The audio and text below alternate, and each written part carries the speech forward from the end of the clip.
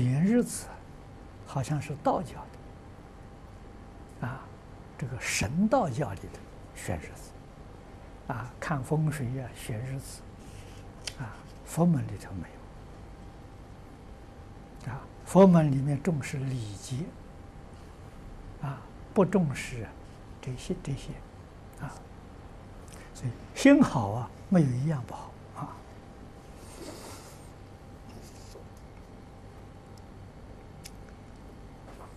下面是一位英国同学提问的，他说：“弟子本身吃素，但所从事的却是贩售冷冻肉食的行业，啊，冷冻肉食的行业，虽觉不妥，但别无所长，请问应如何是好？”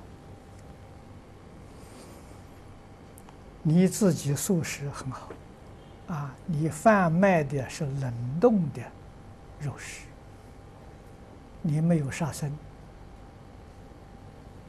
啊，实在讲呢，他也不是为你杀的，你可以为这些众生念经念佛回向给他，超度他，跟他结这个缘，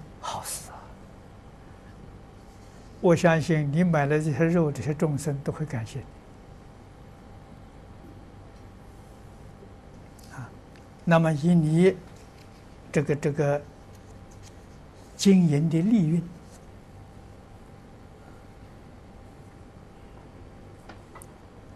拨出十分之一，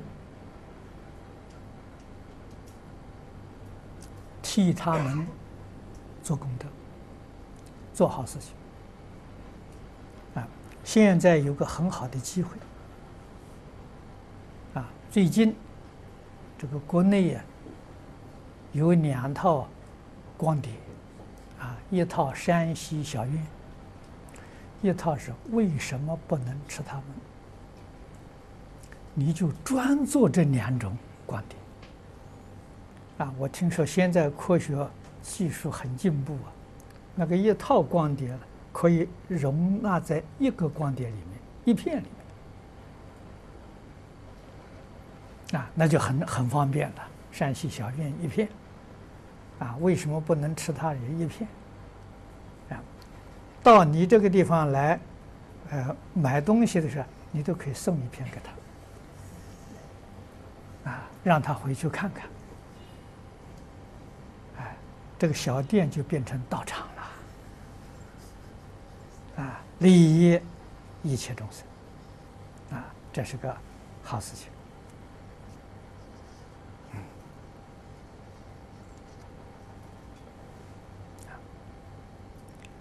如果这个事情做长了，我相信你一定会有感应。啊，感应往往是意想不到的。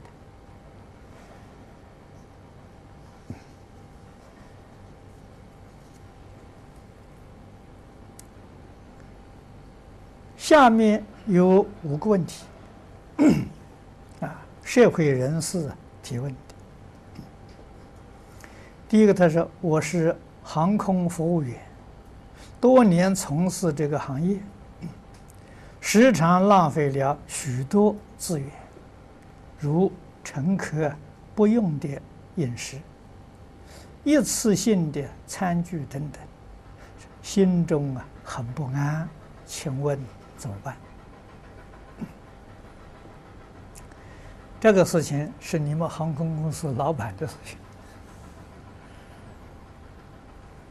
啊，你没有办法改变他啊，那么你就只好随缘啊。那么知道这是一种浪费，只要你自己不浪费呀就好。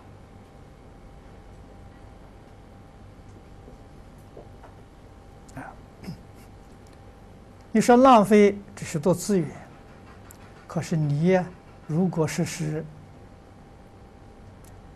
能够啊利用这个时间念佛，可以不中断啊在心里面默念，可以不中断。啊，手上可以带个念珠，那个念珠会渡很多人。啊，人家一看到念珠，就会心里就啊就想个佛，哎，阿赖耶里头啊，那佛的种子就种下去了。啊，这一串念珠啊。天天给这些旅客种山根呢，啊，这是好事情啊！啊，那么我们协会里面呢，结缘的这个小佛卡很多，啊，这小念珠啊，都可以身上带一点，啊，遇到有缘人，有缘人他欢喜。他愿意接受，你就送给他。啊，广结法缘，啊，介绍他听经，啊，有些与佛有缘的，就介绍他听经，啊，介绍他学佛，啊，这都是好事情。啊所以，任何一个行业都能把它变作道场啊，变作戒淫众生的场所啊。飞机上天天那么多旅客，你就在那上面做戒淫工作啊，真的你就行菩萨道了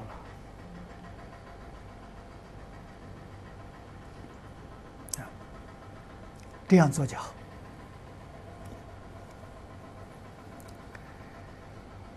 第二个问题是：安乐死是道德吗？这是否对疾病及老化问题有帮助？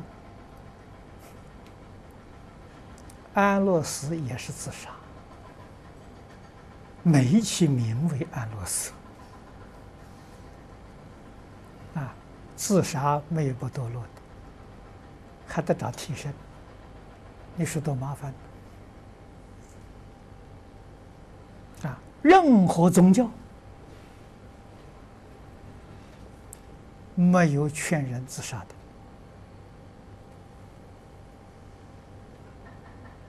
啊，没有说自杀是如法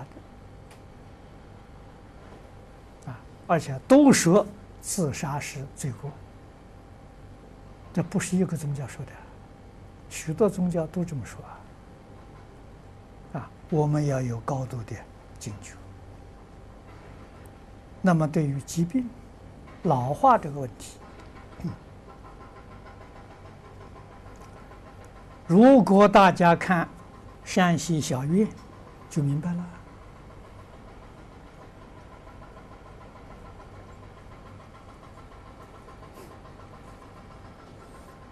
啊，山西小院跟为什么不能吃它这两样东西啊？都是属于因果教育，在现前这个社会，它的效果比《了凡四训》、比《感应篇》、比《安世全书》还有效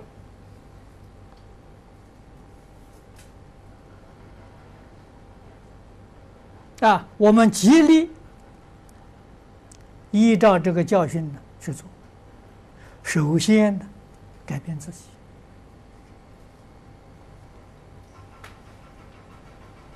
啊，自己如理如法的修学，真正得到殊胜效果了，别人就相信了啊，自己没有效果。人家要问的是你送给别人，人家问的时候你做到了没有？啊，我还没有做到。别人的信心呢只有一半。啊，我做到了，他真有信心。啊，所以自己要真干啊，为什么有这个效果？